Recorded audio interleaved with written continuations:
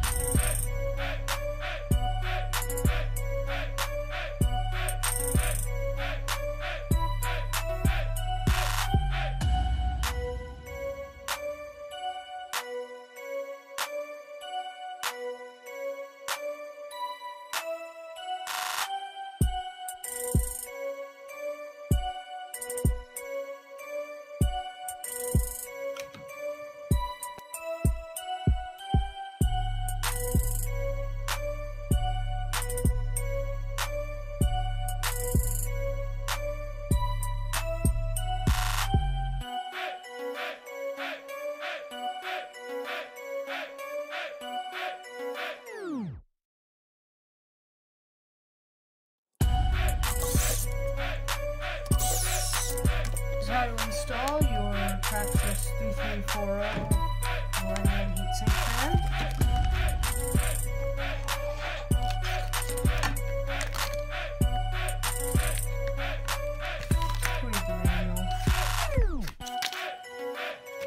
It's very simple to install this. All you need to do is clip it on like so. Bit of a push.